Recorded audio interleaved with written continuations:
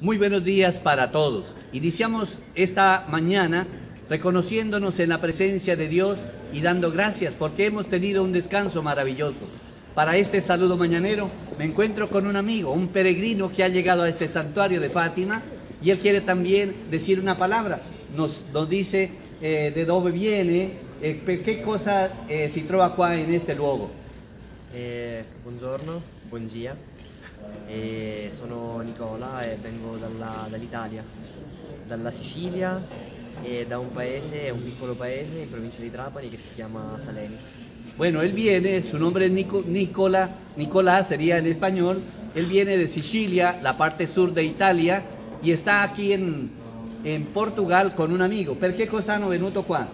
Siamo, siamo venuti, abbiamo deciso a novembre di fare un viaggio e di visitare Lisbona, e, però non avevamo fatto nessun piano fino a quando siamo saliti sull'aereo. Dice que han eh, hecho un, un proyecto de viaje a este lugar, a Portugal, pero no tenían en proyecto en un principio venir acá a, a- a Fátima, pero sobre el aéreo, sobre el vuelo, han decidido venir a este lugar. Esatto.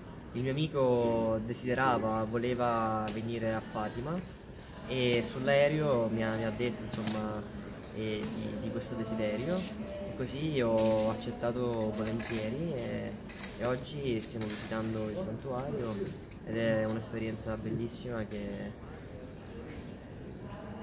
non saprei come dire, Bueno, mi, mi auguro Se- senza che parole. possiate fare. Possiate fare. Me dice que prácticamente venir a este lugar ha sido una decisión de última hora de este amigo quien le acompaña de venir a este santuario, pero que se encuentra contento y que augura mucho bien a todas las personas que vienen a este lugar.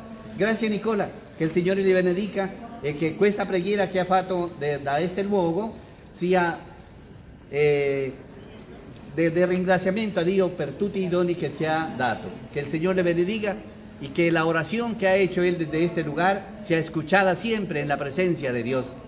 La bendición de Dios Todopoderoso, Padre, Hijo y Espíritu Santo permanezca para siempre.